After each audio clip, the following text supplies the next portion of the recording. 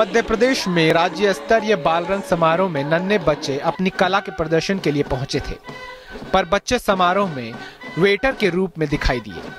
दरअसल राजधानी भोपाल स्थित इंदिरा गांधी राष्ट्रीय मानव संग्रहालय में आयोजित बाल रंग समारोह में वीआईपी के आवभगत में नन्हे बच्चे जुटे हुए दिखाई दिए। स्कूल शिक्षा मंत्री विजय शाह समेत तमाम अधिकारियों के लिए बच्चों से वेटर की तरह काम करवाया गया।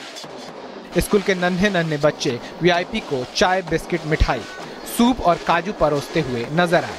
बालरंग समारोह में बच्चों से वेटर की तरह काम कराए जाने पर मंत्री विजय शाह ने कहा कि इस तरह के काम में कोई बुराई नहीं है।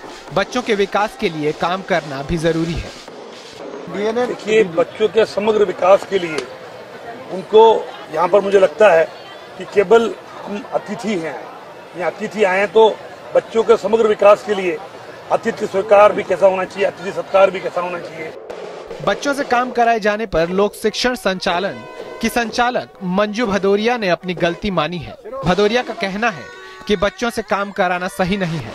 बच्चों से मेहमान नवाजी की परंपरा को बंद कराएँगे। एक्चुअली ये बाल रंग का आयोजन जो है वह उन्नीस से चल रहा है। और मैं भी पहली बार इससे जुड़ी हूँ मेरे आने के बाद। पर यहाँ पर जो बाल रंग में इन्होंने जैसा इनका उद्देश्य है कि बच्चों को ही अपनी अभिव्यक्ति का अवसर प्राप्त हो इसलिए चाहे वो कंपेयरिंग हो या कुछ चीज़ें हो बाल पत्र हो या कोई भी चीज़ें हो वो बच्चे ही यहाँ पर करते हैं। इस कारण से पानी दे रहे हैं। हाँ वो मुझे भी थोड़ा सा लगा तो मैंने भी मना किया पर ये इन लोगों ने शुरू से ही परंपरा रखी पर मैंने कहा कि बच्चों को करें बच्चों को इस चीज़ में समाहित न करें वह अपनी कलाओं की अभिव्यक्ति करें तो ज़्यादा अच्छा होगा। राजधानी भोपाल के इंदिरा गांधी मानव संग्रहालय में मंगलवार को बालरंग 2017 कार्यक्रम का शुभारंभ हुआ। कार्यक्रम में नौ संभाग से लगभग हज़ार बच्चे शामिल हुए, जिसमें दर्जनों बच्चे यूनिफॉर्म पहने हुए अतिथियों को चाय, बिस्किट और नाश्ता परोस रहे थे।